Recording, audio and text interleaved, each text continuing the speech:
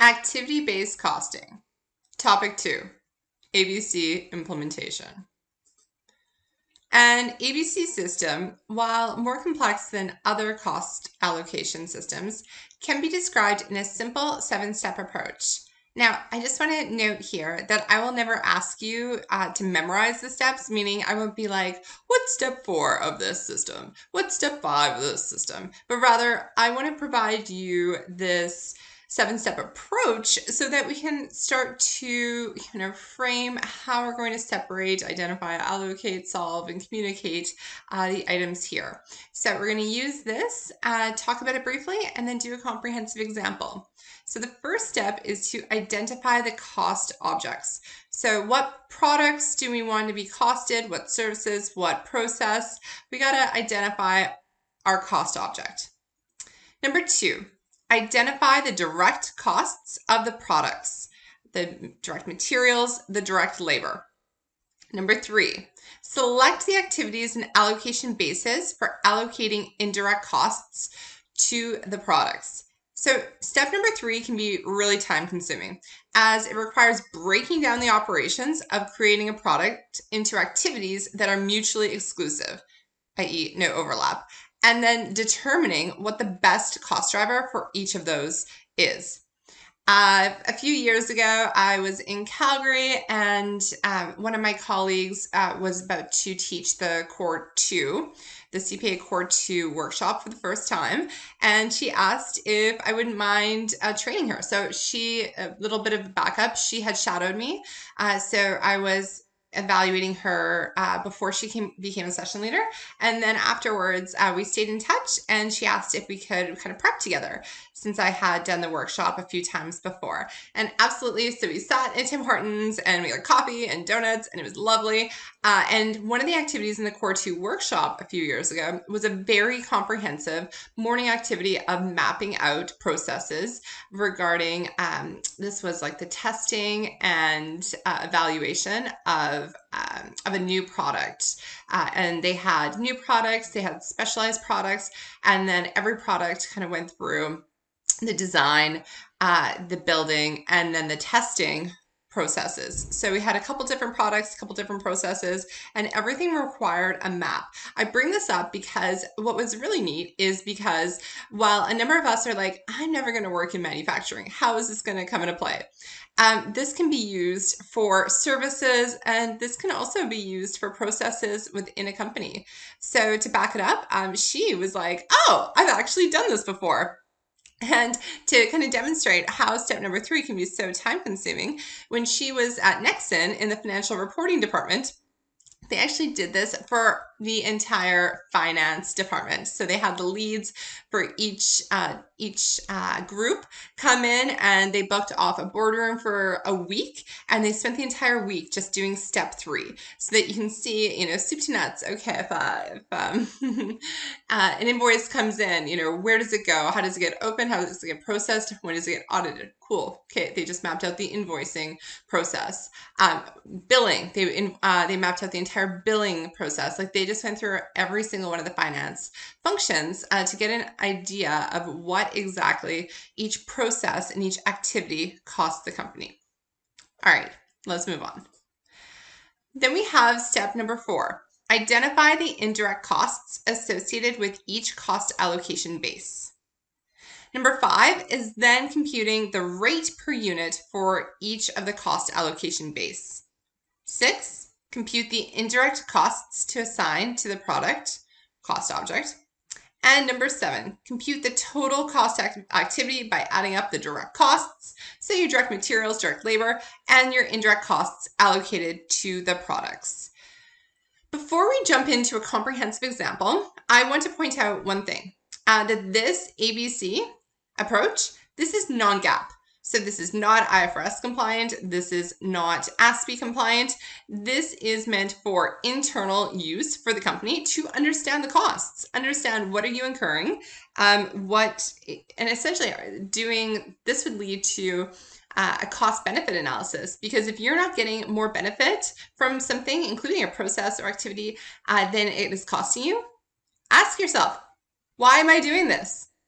Maybe it is better to, if it works within your uh, product uh, strategy, if you have a really low cost item, maybe you just deal with product returns instead of doing comprehensive testing before shipping out products. You know, maybe you accept that risk and just scrap the whole testing portion. I don't know. Um, it sounds a little bit controversial, but I really just want to say that more is not more, and understanding our costs uh, and understanding the inputs in that leads decision makers to make best uh, decisions, kind of going out and to make sure that your company is in alignment. Strategy from from top to bottom. Okay, let's look at that example. At Acme Corporation, uh, they've implemented an ABC system and it's costing a job for a customer. Hmm, job costing. Uh, Acme produces specialized work boots that are highly heat resistant for individuals that work in metal foundries. The order is for 100 sets of boots. The order will require 50 kilograms of raw material at a price of $19 per kilogram. The order will also require 150 hours of labor to manufacture at $17 per hour. With Acme's ABC system, they have identified two activities to assign indirect costs to machine setups and machine operations.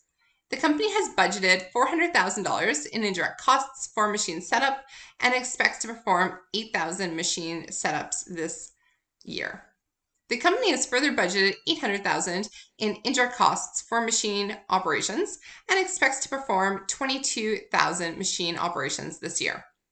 That special order requires five machine setups and 20 machine operations. How much costs should be allocated in total to this order? By the way, as an aside, I want to share that the reason why I read a slide that has um, a chunk of words on it, it's because um, best practices in presentations uh, are to, whenever you have a, a, solid chunk of text, you actually are supposed to read it. Same thing with a full quote, um, and that is because it is very overwhelming for individuals to visually see a huge blob of text. Um, so, and then the text competes with the presenter. So anyways, anytime I have a comprehensive example, a question with multiple choice answers, um, I will read the text just to give you a little bit of an insight as to why the heck I'm doing this. All right, I am going to switch to Excel and we're going to solve this together. All right, step number one, identify the cost objects, product processes, um, services to be costed. So for step number one here, step one, uh, this is relatively simple. It's told us in the question and the cost object um, is uh, object, object, cost object are the boots for the special order. All right, let's move these over just a tad bit in our screen and move on to step Number two, identify all the direct costs uh, of the products. So all the direct materials and direct labor. So here we had direct materials and that is equal to 50 kilograms times $19 per kilograms or $950. And then this special order has direct labor of 150 hours times by rate of $17 per hour. So $2,550. Okay, I'm just gonna skim my way through. That's it for direct material and direct labor. Okay, now moving on to step number three, where I select the activities and allocation basis for allocating indirect costs to the product. Remember, I said that this one would be the most time consuming. And that is in practice. In practice, you aren't given a nice little summary with everything. Here, somebody has done the hard work for you and they have gone through and they have said that the machine setups is the best way to allocate um, indirect costs related to um, and that we have uh, machine setups of 8,000 this year and machine operations of 22,000 this year. So then we are given uh, the amount of machine setups and uh, machine operations that this job will occur. So I'm going to note this down here, and then this will come up a little bit later to see which acti- uh, which item is associated with each base. So knowing that this company has machine setups in total of 8,000 and it has machine operations in total of 22,000 of this year. Okay, so now we go on to step number four.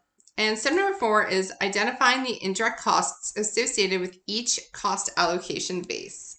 So for our machine setups, I'll just copy this down. Our machine setups, we are told that we have 400,000 in machine setups and we have 800,000 in total for machine operations. So I'm going to put that right down here. Okay. And now step number five. Step number five is asking us to compute, compute the rate per unit for each of the cost allocation base. So we have cost allocation base one and cost allocation base two.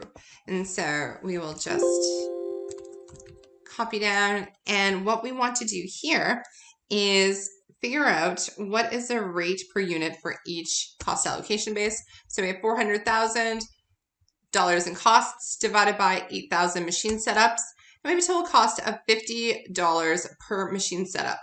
Similarly, we have 800,000 in machine operation costs, and we have 22,000 unique machine operations. And we have a total of 36, 37, 36, 33, and we will just put that here and do some rounding.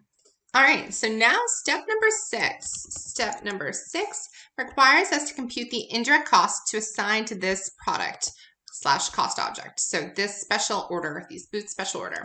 So we need to take our item here and see, okay, how much, how many machine setups does this require? How many machine operations does this require? And we are told that we require five machine setups. So we're going to allocate five times 50 and we are going to require 20 machine operations. So 20 times 36, 36 and change. And then we get our item here of 7, 27, 27, and 250. And we'll round this down now that we are in the final stages and deal with some whole dollars. All right, so now we are looking for step number seven. And should I put it here? Hmm, You know, step seven, this is basically total. What the heck does this entire job cost? And so to do that, we take our direct materials, add in our direct labor, add in our two um, indirect costs allocated by separate pools, and we get a total for this special order of $400, $4,477. And this addresses our question. So how much cost should be allocated in total to the order? 4,477. All right, let's go back to the slides. All right, now that you've done a comprehensive example with me, how about you do one on your own, either with or without the steps provided? Time for a question. You are designing a new ABC system for a client that operates a law firm. You've noted the most significant activities related to indirect costs are client onboarding and legal research. You have allocated $500,000 to client onboarding and $12 million to legal research. Upon inquiring with the firm's managing partner, she indicates that she expects the firm will onboard 100 new clients this year and perform 240,000 hours of legal research. Which activity rates should be assigned to these activities respectively? Is it A, $50,000 and $2.08? B, $5,000 and $50? C, $5,000 and 5208, or D, costs shouldn't be allocated to legal research. What do you think? If you said B, $5,000 and $50 respectively, you are correct. The cost for client onboarding is 500,000 and 100 clients are expected to be onboarded. Therefore, that gives us 500,000 divided by 100 or $5,000. While the cost pool for legal research is 12 million and 240,000 hours are expected, 12 million divided by 240,000 equals $50. All right, nice work. I will see you in the next video.